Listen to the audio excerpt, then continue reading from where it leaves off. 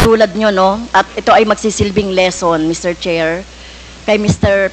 um, Duterte, no? At sa mga susunod na mga mamumuno sa ating bayan. Hindi po solusyon ang pagpatay, no? Kung walang mga hanap buhay, bigyan ng hanap buhay. Pagsikapan dito nga, 'di ba? Ginagawa nga natin ng buong buong makakaya natin para bigyan ng kahit papaano ay tulong yung ating mga mamamayan. So hindi po ito dapat patayin, no? So mukhang mali po yung line of thinking Hindi, hindi dapat, ma'am. Pero Mr. kung Pres- talagang, Mr. eh, Duterte. if the situation calls for it, uh, I will not hesitate. And the police should not hesitate, especially facing a criminal who is also going to kill you pag hinuli mo, dapat patayin mo talaga. At ayaw ko makita na buhayan kasi gagamutin mo pa sa ospital, magastos pa ang gobyerno, tapos sa tapon mo doon sa prisuhan, pakakainin mo pa. Tapusin mo na. That is my philosophy. And I don't believe in I you, do, if Mr. you do Mr. not Chair. like what I, if you do not like my, my ideology, fine. That is, that's mine. Bahala ka na sa buhay mo kung ano yun. Opo. At bahala na rin po yung ano no, yung justisya, no, yung batas sa inyo po, whether dito sa bansa or sa ibang naging- bansa Naging po. presidente Pero ako. kung ganyan po yung, Mr. Chair, kung ganyan ang line of thinking ni Mr. Duterte, na walang ano no, ah, gan- ganyan niya ituring ang mga mamamayan na kapag hindi niya mabigyan ng hanap buhay, nagdroga yan, patayin na lang. So what kind of thinking of what, kind of thinking of that, Mr. Ah, Mr. Chair? Right thinking. That's yours. What what sa ano yun? what what can else can you think of? It's it's, it's the right thinking. I don't believe in you. Well, Okay, next, Mr. S- I'm Mr. not Chair. asking you to believe in me. Okay, fine. Far from it. Fine, Mr. Chair. In, in, in same Senate hearing, um, Mr. Mr. Chair, Mr. Duterte said, encourage the criminals to fight. Encourage them to draw their guns. Yan ang instructions ko. And the only way na hindi kayo makulong, and the only way na hindi kayo makulong and to justify the killing is bigyan mo talaga ng panahon na lumaban. Okay? So, madalas po, Mr. Chair, no, nababanggit dito, um, self-defense ng mga pulis, yung, ano no, yung ginagawa nilang pagbaril o pagpatay sa mga biktima ng, ano no, na, or yung mga ah, hinuhuli nila at pinapatay nila. So, as a lawyer, Mr. Chair, tanungin ko si Mr. Duterte, ano po ba yung elements of self-defense? When your life is placed in danger, whether as a civilian or a police, you have the right to defend. And if your life is in danger, kill the idiot in front of you. Or you will die as an idiot. At yung criminal, malayang but have the satisfaction of uh, doing his thing. Okay. Ayun po ba, as, as a lawyer, yun po yung inyong alam tungkol doon sa elements ng self-defense. I,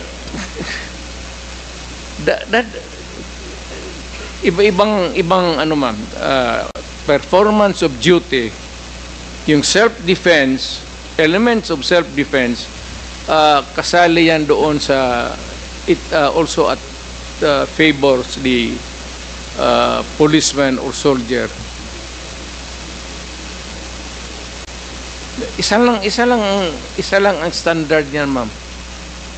Are you in danger of losing your life in front of a person, whether really criminal or your enemy? Galit mo. And there's a confrontation, a violent uh, activity ensues. And if your life is in danger, put the idiot down. Eh, rather mamatay ka. Ano ba itong buhay na ito? Okay. Um, Magpapadrama ba tayo?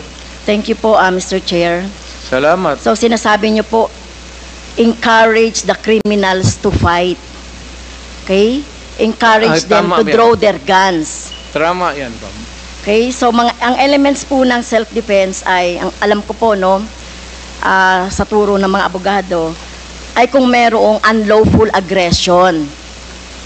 Eh yung bata po, meron bang ano um, yung napatay na mga bata, yung mga napatay na mga um, basta na lang napa, nakursunadahan, etc. So wala ditong elements of self-defense, no? Number two, reasonable necessity of the means employed to prevent or repel. So ang nangyari na po, pinatay na agad eh, no? Pinatay na agad yung ah, biktima. Pangatlo po, yung lack of sufficient provocation on the part of the person defending himself. Pero sinasabi dito, sufficient provocation. Mr. Chair, sa mismo nga na nga sa presidente, dating presidente, si Mr. Mr. Duterte, sinabi mo na nga sa instructions mo doon sa inyong mga pulis, encourage the criminals to fight, palabanin. Okay? At narinig ko pa nga minsan ay kung walang baril ay bigyan ng baril. So encourage. So saan po dito yung elements of self-defense na sinasabi po ng mga pulis ninyo? Pero kayo po kapag ano no kapag yung time na nandiyan na yung um, biktima o nandiyan na yung suspect, kayo po talaga gusto nyo patay talaga agad. I, I, I, I mean, I do not mean to be discourteous, uh, Mr. Chair. I'd like to advise the the lady to pag siyang pumasok diyan sa aggression, aggression, you'd never understand that. Wag na lang. Your hypothetical, ano, Hindi, Mr. Chair, kay, ang si Mr. Duterte mismo nagsabi eh, patayin agad. Wala bang pagkakataon na mabigyan ng pag, ng ano no, na mabigyan ng pagkakataon yung suspect or or yung yung gustong mahuli. Ang ang concept niyo talaga patayin agad ang mga kriminal o yung mga addict o yung mga pusher. Pero ang tanong ko nga, hindi nyo ginawa yan sa mga drug lords. Okay? Hindi, nyo, hindi kayo nang huli ng mga manufacturer ng drugs. Pero yung mga maliliit, ganyan ang tingin ninyo, ano? Yung mga kriminal na sinasabi ninyo. Ganyan niya tratuhin. ganon ako gagago.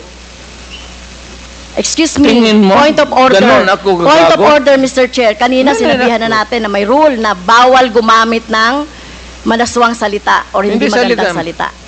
Uh, I'm, uh, I'm I'm using a word. Uh, gano, am I that stupid? English yan. Ang Tagalog niyan is ganon ako gagago.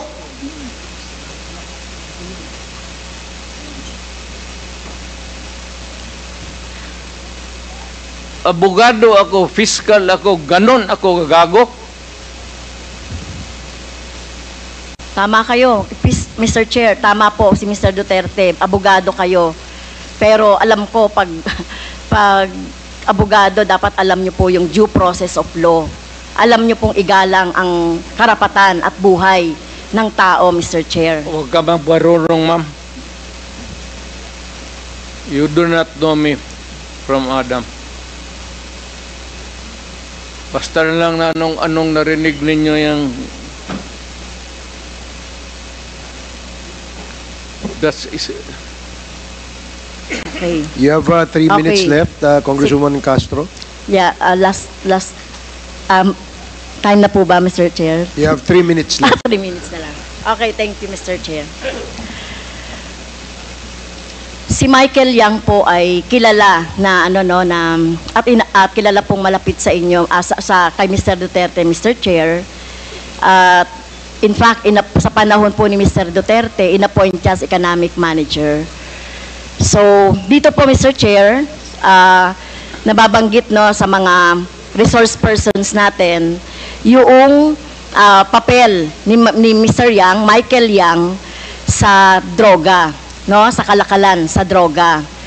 So ang tanong ko po kay Mr. Duterte, Mr. Chair, gaano niyo po kilala si Mr. Yang o si Michael Yang? Michael Young is an owner of a big department store in Davao City.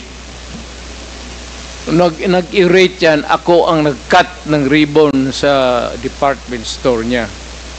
And every businessman, whether ang, ang background mo hindi ang, ang kung saan ka galing imperno, if you want to have a picture with me, I will gladly oblige you. Even the criminals. Alam mo, do, do not uh, confuse your, uh, just because they are Chinese and they suspect you.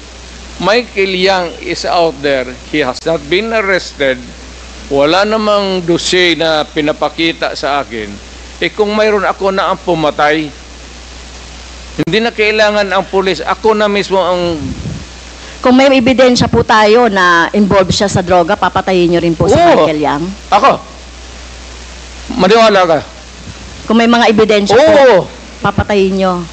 Sasama, tawagan kita kasama. Ah, hindi po. Ayokong Hindi, maging... hindi, hindi, hindi, samahin Ayoko kita. pong maging Eh, eh, katulad ninyo, yung no? At ayokong masama doon sa ah, patayan. You will So, be witness to a murder. Hindi ko po gagawin yon Mr. Chair, no? Sumama kay Mr. Ay, Duterte eh, para pumatay. Yan, yan ang problema mo. Okay. So, um, yun nga po, no, um, yun pong mga malalaking ah, drug lords katulad ni Michael Yang na sinasabi. Pero hindi nyo po alam na involved sa droga si Michael Yang, Mr. Duterte, Mr. Chair. Mas marunong ako sa iyo, ma'am. Hindi talaga involved yan. Magtanong So, ka ng involved. pulis ngayon. Gusto Kaya mo, nga. magsama tayo sa NICA. Tayo, sama tayo sa NBI. Ngayon, ngayon, pagkatapos nito, kung may makasabi sa iyo na isang ahente na involved yan, yan lang ang suspitsa nila kasi pagka-in-check, yan, pag ah, sama-sama ng... Ah, hindi po. I beg to disagree, Mr. Chair. Ah. Tayo po nirerespeto po natin ang citizenship.